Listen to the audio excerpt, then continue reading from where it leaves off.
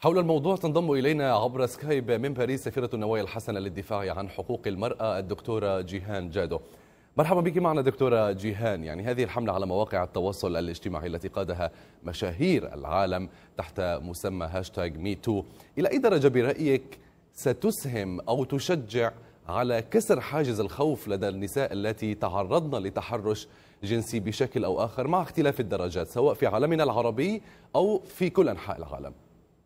أهلا بحضرتك وبالساده المشاهدين. طبعا بكل تأكيد هذه الحملة اجتاحت العالم الآن وأنا الحقيقة أتعجب من من يعني سكوت التام أو الصمت التام في هذه الظاهرة الخطيرة التي تهدد معظم نساء العالم. وفجاه يعني تنطلق ومن أمريكا التي دائما وابدا كانت تنتقد العالم العربي بأن هناك أو بها يعني ظاهرة للتحرش. الحقيقة طبعا هذه الحملة الكبرى التي اجتاحت هذا هذا العام هذا هذه الأونة بكل تأكيد هي لها مدلول كبير جدا يعني قد تكون أغلب نساء العالم فقدت الثقة بعض الشيء في طيب. الوصول خلي... إلى حقها اسمحي لي دكتوره نعم. أسألك إياها بطريقة نعم. بطريقة أو من وجهة نظر نسائية أنا اليوم تعرضت للتحرش الجنسي ما الذي أستفيده إذا خرجت على وسائل التواصل الاجتماعي أو وسائل الإعلام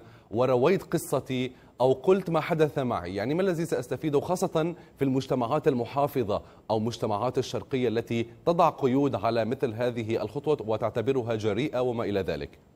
طبعا بكل تاكيد الخطوة جريئة في في حد ذاتها خاصة أن هناك فلا بد أن نفرق أيضا هنا بين نقطتين هامتين. سواء المجتمع العربي سواء أيضا المجتمع الغربي أو المجتمع العالمي. يعني الحقيقة هي ظاهرة قد تكون صادمة للبعض صادمة لجميع النساء أيضا. يمكن في مجتمعاتنا المحافظة طبعا بكل تاكيد يعني قد تكون الاستفادة يعني قليلة جدا.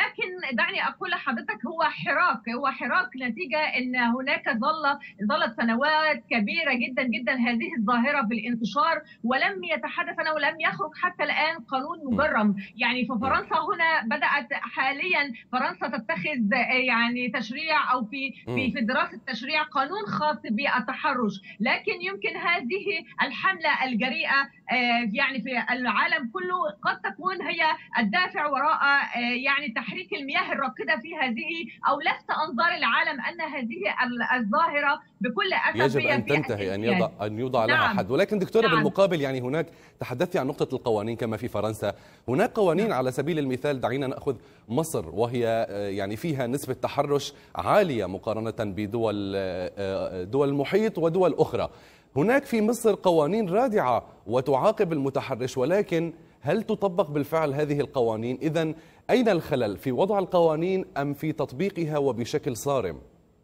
اولا دعني أؤكد على النقطة. يعني أنا قد تصفحت الصحف اليوم في فلم لا أتفق ابدا مع النسب الخطيرة التي يصفها يصف الجميع بأن هناك 99 يعني في المائة من النساء في مصر يتعرضن للتحرش هذه نسبة خطيرة ويعني الحقيقة لست أعلم من أين أتوا بهذه النسبة يعني بغض النظر عن الأرقام ولكن هناك نعم. نسبة تحرش عالية في في مصر أو غيرها. نحن يعني نحن طرحنا مصر على سبيل المثال.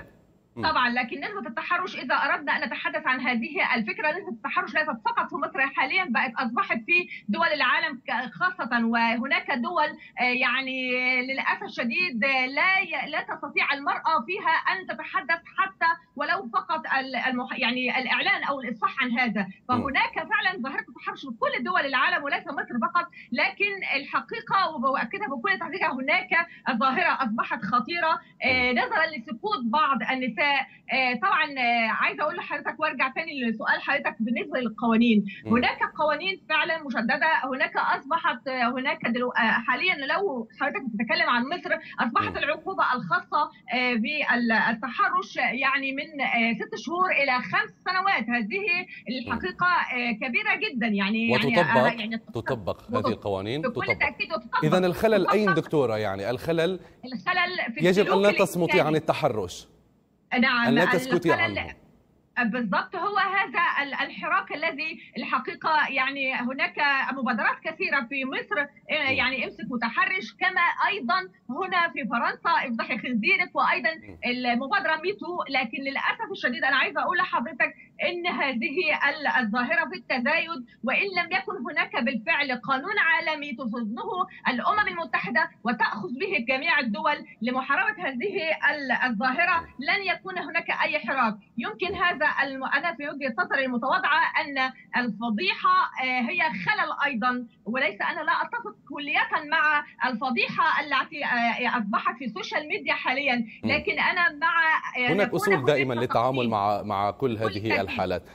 أنت يعني من بداية المقابلة سعيدة ومبتسمة في يبدو أنك شاركت في هذه الحملة ميتو أيضا.